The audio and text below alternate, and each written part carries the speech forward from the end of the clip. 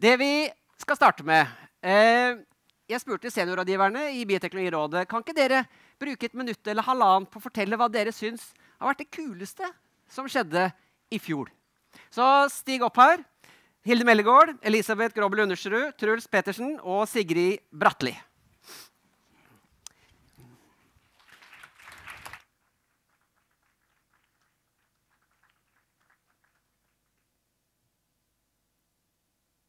Ikke hele veien. Det gjør den ikke. Sånn. Hilde, vær så god. Jo, takk for det. Skal vi se. Eh, fotosyntesen det lærer vi om på skolen. En prosess i planter, alger og blågrønnbakterier der eh, CO2 og vann omdannes til sukker og oksygen ved hjelp av eh, energi fra sola. Så den får plantene til å vokse, og den lager oksygen som vi trenger for å puste. Så det er en av naturens viktigste prosesser. Men fotosyntesen er også en flaskehals for å øke planteproduktiviteten og dermed maten som vi kan produsere. Så I 2018 så var det flere nyhetssaker der forskere brukte genteknologi som verktøy for å øke planteveksten. Det var noen som satte turbo på plantefotosyntesen ved å ta inn små systemer og et enzym, en katalysator, fra blågrønnbakterier. Og så var det andre forskere som lagde mer av eh, et enzym, katalysatoren, som er fartsdumpen i fotosyntesen, sånn at den da går fortere.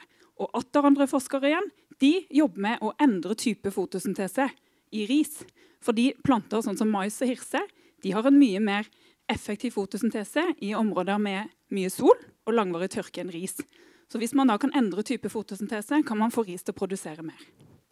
Så det er Verdens befolkning øker, og det er mange munner som skal mettes.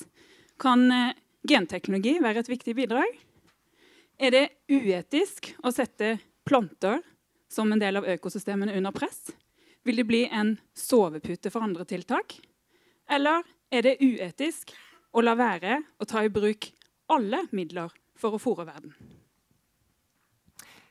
Applaus. Elisabeth? I oktober så ble en hel verden overrasket. For da viste japanske forskere at to hunnmus kan bli foreldre. Og måten de gjorde det på var at De tok en eggcelle fra den ene musen og så tok de en spesiell type stamcelle fra den andre. Så endret de på tre gener, og så noen uker senere så ble disse musungene født. Og De var friske og raske og har nå blitt store og selv har fått barn og barnebarn som også er friske. Og så prøvde forskerne å gjøre det samme med to hannmus. Det var ikke like enkelt. Da tok de en sædcelle fra én mus og den samme type spesielle stamcellen fra den andre. Måtte endre syv gener. Og så ble bl.a. denne musungen født. For Det ble født to musunger, men de døde kort tid etter fødsel. Og Mange lurer jo nå på er dette mulig å gjøre på mennesker. Og Når man spør fagpersoner, så virker det som at de deler seg i to grupper ene sier at ja, dette kan bli mulig, mens den andre er mer skeptisk. For det kan jo gjøre mulig for par som da har samme kjønn, å få et biologisk barn sammen.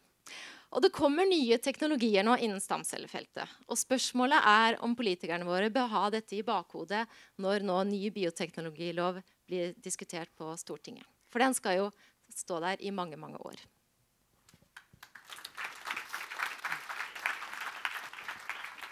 Truls? For et år siden snakka vi veldig mye om genetiske selvtester som du kan kjøpe på nettet. I 2017 så var en sånn testkit det femte mest solgte produktet på Amazon, størst, verdens største nettbutikk, under Black Friday-helga. Eh, I år, eller 2018, var året da vi så på rekke og rad overraskelsene som kan ligge i denne trenden. Det der er bilder fra en pressekonferanse i april. Eh, mannen til Høyre er en pensjonert eh, politimann han står bak 13 eh, drap og 50 voldtekter, saker som var uløst.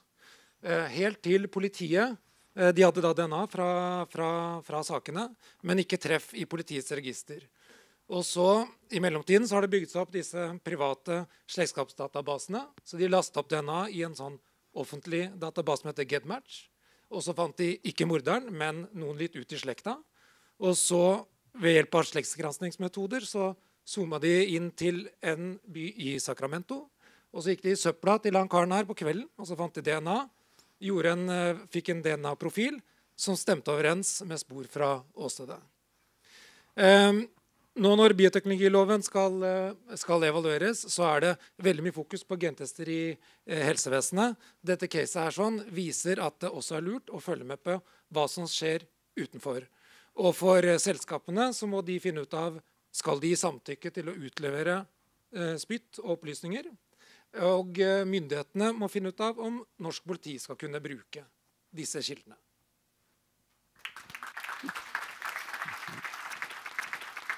Sigrid?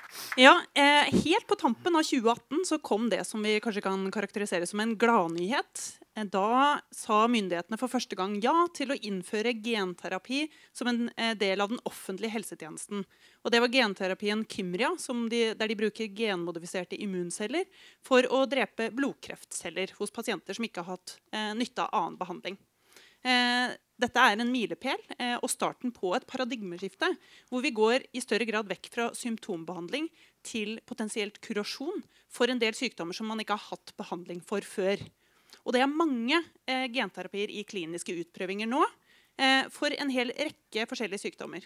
Og med nye genteknologier som CRISPR så vil jo dette også bare bli mer aktuelt fremover. Eh, vi forventer en rask økning i antall søknader. Eh, mulighetene er jo kjempestore, men det vil også utfordringene bli. Ja, den reagerer ikke. Det er ikke så farlig. Eh, for hvem skal få disse genterapiene? Og hvem skal egentlig betale for dem? Kymria den har en listepris på 4 millioner kroner for en behandling. Den neste som nå ligger på myndighetenes bord, er en genterapi for synstap den koster 3,5 millioner kroner per øye. Og en genterapi for en muskelsykdom som nå er under utvikling, er varslet at kan komme med en prislapp på 35 millioner kroner.